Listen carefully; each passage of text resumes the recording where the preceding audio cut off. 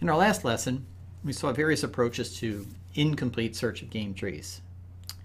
In each approach, the evaluation of states is based on local properties of those states. That means uh, properties that do not depend on the game tree as a whole. In many games, there's no correlation between these local properties and the likelihood of success in completing a game successfully. So in this lesson, we're going to look at some alternative methods based on statistical analysis of game trees. We first examine a simple approach based on what's called Monte Carlo game simulation. And um, then we look at a more sophisticated variation called Monte Carlo tree search, or sometimes UCT. The basic idea of Monte Carlo search is simple. As with depth-limited search, we explore the game tree to some fixed depths. In order to estimate the value of any non-terminal state at this depth, we make some probes from that state to the end of the game by selecting random moves for the players. We sum up the total reward for all such probes and divide by the number of probes to obtain an estimated utility for that state, and then we use these expected utilities in comparing states and selecting actions. So as just mentioned, the expansion phase is the same as depth limited search. The tree is explored to some fixed depth as before. And then the, we enter a probe phase where we have an exploration from each of the fringe states reached in this uh, expansion process, for each making random probes from there to a terminal state. The values produced from each of these probes are then added up and divided by the number of uh, possibilities, uh, number of probes for each state to obtain an expected utility. For example, in the case on the left, we made four probes, got one 100, the sum total of the four probes is 100, divide by 4 is 25. The second case, two 100s, two zeros, total of 200, divide by 4, we get 50. Uh, so these utilities are then compared to determine the relative utilities of the fringe states produced at the end of the expansion phase. Much better than just making a, an assumption of, a conservative assumption of zero utility for non-terminal states.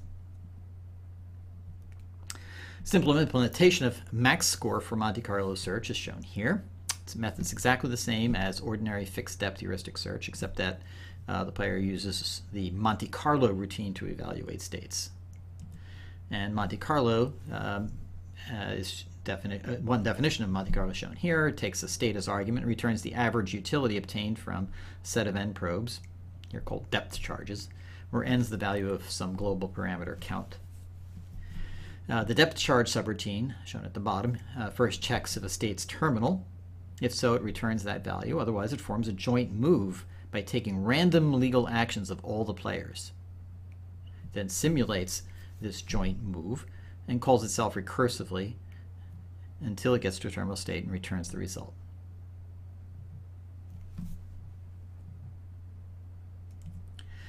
One downside on the Monte Carlo method is that it can be optimistic. It assumes all players are playing randomly, when in fact it's possible that they know exactly what they're doing.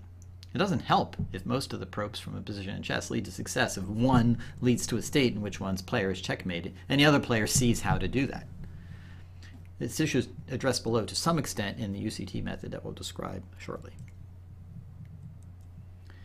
Another drawback of Monte Carlo is it doesn't really take into account the structure of a game. Uh, for example, it may not recognize symmetries or independences that could substantially decrease the cost of search.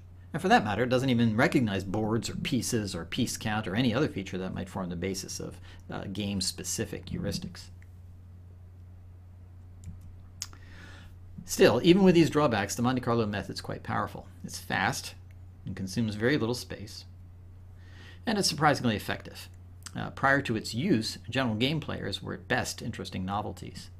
But once players started using Monte Carlo, the improvement in gameplay was dramatic.